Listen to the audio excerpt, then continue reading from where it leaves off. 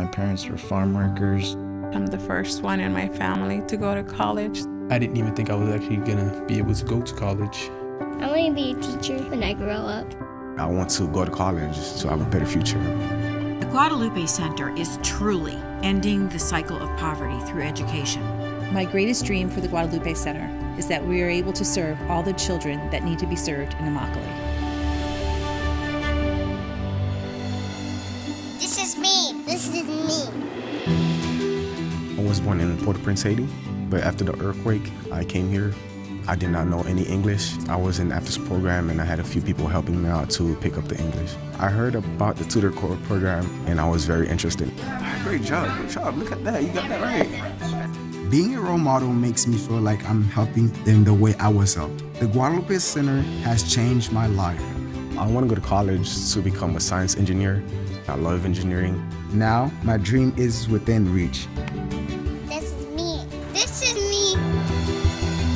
When I was five and my sister was three, we were put into foster care. My mom passed away after Graciela's first birthday. Without the Guadalupe Center, I don't know what I would have done. My siblings wouldn't have an opportunity to go to college, and I wouldn't have the ability to improve myself through education. My dream is to go to college and have a career within the field of business. This is me. This is me. My parents, they always told me that we won't be able to support you through college because the tutor corps, I do see myself going to college. I want to be a biomedical engineer. Guadalupe has made me a better person. It allows us to get past those barriers that are stopping us from being the best we can be. I don't have to struggle on the road by myself. I have people by my side willing to help me every step of the way. This is me. This is me. I was interested in becoming a doctor, but a lot of people said, no, that's too hard. We don't have any doctors come out of Immokalee. I joined the tutor corps when I was in ninth grade, Guadalupe Center. They were there for me. I ended up graduating top in my class. I knew that I was capable of more. This is me. This is me. I've been involved with the Guadalupe for literally almost my whole life. I went as an infant to the early learning program.